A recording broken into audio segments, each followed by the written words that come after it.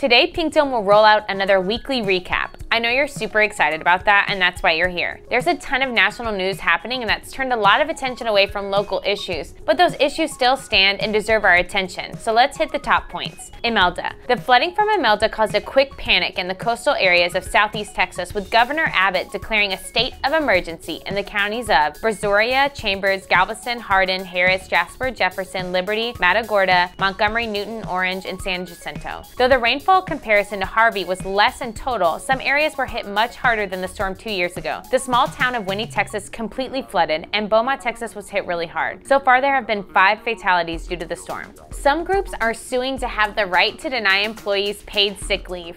Yeah, that's a thing. Three cities in Texas, Austin, Dallas, and San Antonio have passed ordinances to require employers to provide levels of paid sick leave, or they tried to. Dallas is the only one that went into effect, despite the lawsuits. They didn't file them in time in that area to stop the new policy. Now, however, the lawsuit is throwing some legal trouble in the situation. Lots of Texans are holding their breath, hoping they'll be able to take time off to go to the doctor, you know, important stuff like that. Lieutenant Governor Dan Patrick has been hit by some of his party and the National Rifle Association for comments supporting expanding background checks for stranger to stranger sales. Patrick said, Look, I'm a solid NRA guy, but not expanding the background check to eliminate the stranger to stranger sale makes no sense to me and most folks. He's actually right. According to the NBC News and Wall Street Journal poll, 89% of Americans favor expanding background checks for gun sales, 76% support red flag laws, and 75% favor a voluntary gun buyback program. Annie's List recently endorsed two women running for the House of Representatives. Elise Markowitz of HD28 and Lorraine Birabil, HD100, are the two that get to add that endorsement to their campaign websites.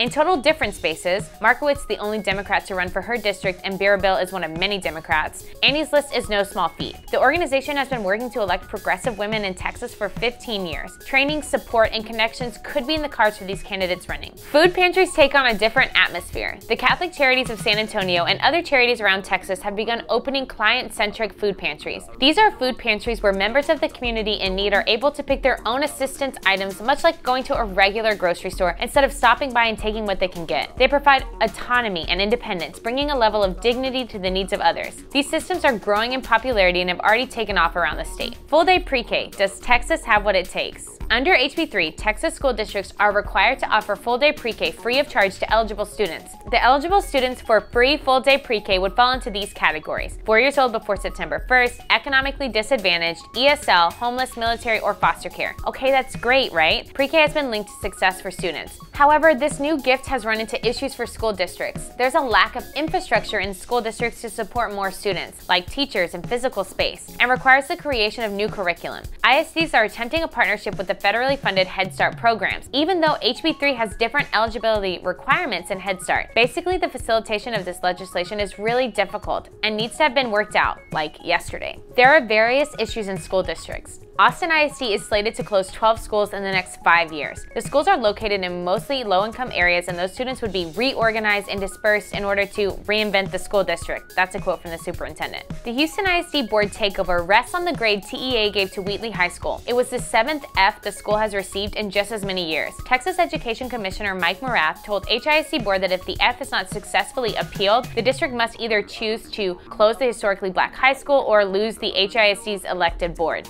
Yikes.